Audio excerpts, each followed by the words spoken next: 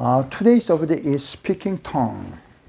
And then uh, Xun Kuang, uh, he is a very famous philosopher uh, born in uh, BC 316, about uh, 2,300 years ago he was born. And then he, uh, he, uh, he was a very famous philosopher and uh, you know maybe he's you know uh, you know um, uh, teaches very many you know student. And then from him there are many famous scholar and politician came out. And then you know somebody you know asked you know him um, what about uh, what about the offering for the rain, like you know, uh, rain dance? And then without the rain dance, is there is there going to be rain? And his answer was, without the rain dance, there will be rain. You know, 2,300 years ago, uh, in the uh, uh, Oriental philosopher believe, okay, without you know rain dance, there will be rain. And many people you know uh, uh, believe that okay, if the rain dance continue until rain come, then rain you know rain eventually come down. But no, uh, he believed that without the rain dance, there will be rain. Then we don't have to we don't have to do you know uh, offering for the rain uh, rain dance then his answer is interesting.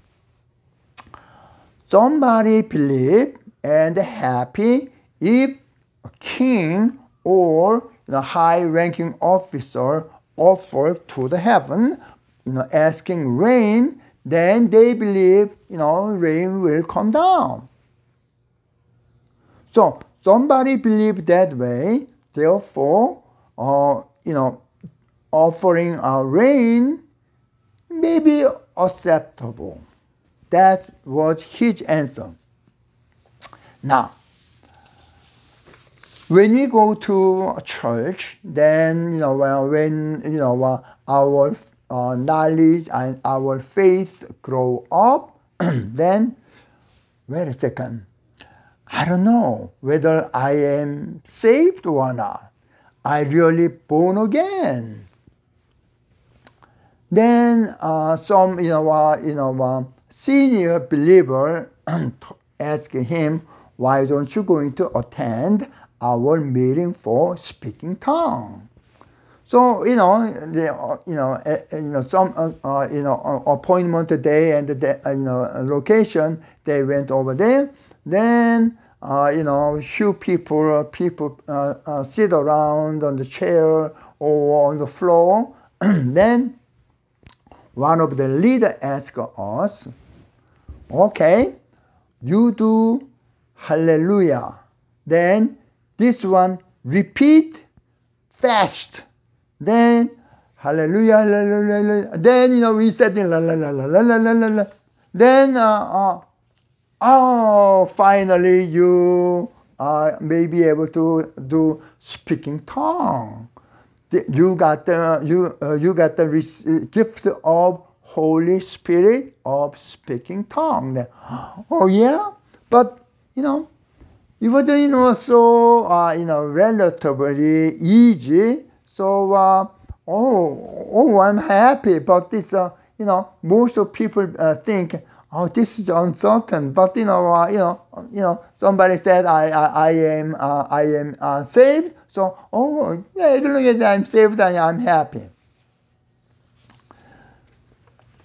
Now, uh, some there are many sects in in the Christianity, and some Christianity uh, uh, Catholic that you know there's a sect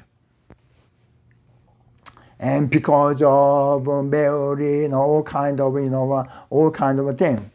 Now, when you go to the when you go to a big assembly meeting And then there are many, many people who may be able to do speaking tongue.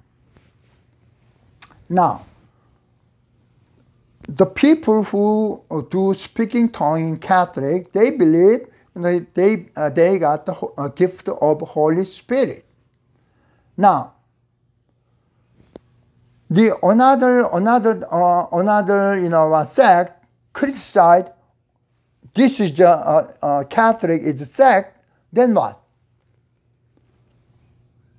They may be able to speak in tongue. Now, how can you, your denomination, call this Catholic a sect? Because they receive Holy Spirit. Maybe this guy who claimed the other guy is a sect, maybe he is a sect. You know, this is in a phenomenon. Everybody believe I am I'm the only right, you know.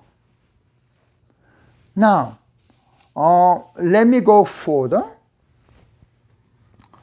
Now, uh, uh, there are you know three you know major uh, major you know um, doctrine like Judaism and Christianity and Islam. You know, then the uh, in Islam they do also speaking tongue.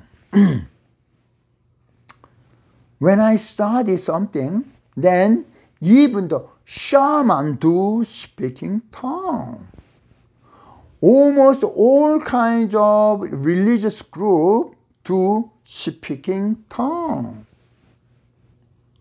So uh, some uh, some uh, religious in our school uh, teach this way. Speaking tongue is only phenomenon before Bible is uh, you know finished.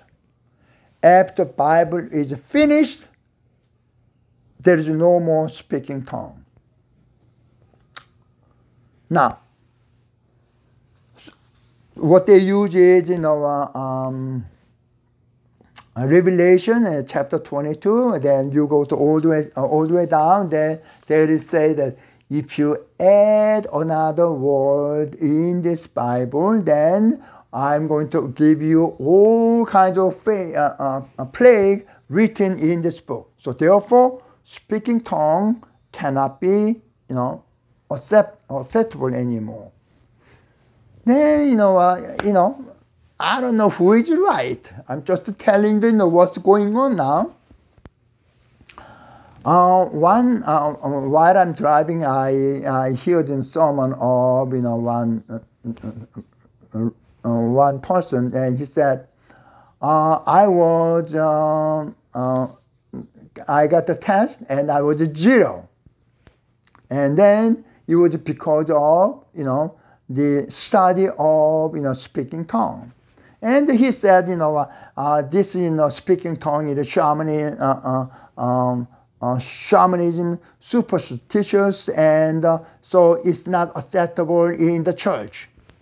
And then, you know, professor called him, so he sat down with him, and then you don't understand the person who can do speaking tongue. If you, if you deny that, you are going to fail in the church. This is the reality of speaking tongue. Now, I, you know, explain one, one example that, you know, uh, uh, Xun Kuang, uh, you know, okay, we don't, we don't, we don't need, you know, offering for rain, but somebody, you know, want to, so, you know, it's okay if you, even though you do that. What's the difference between this uh, example and, you know, speaking tongue? Now, I suggest this one.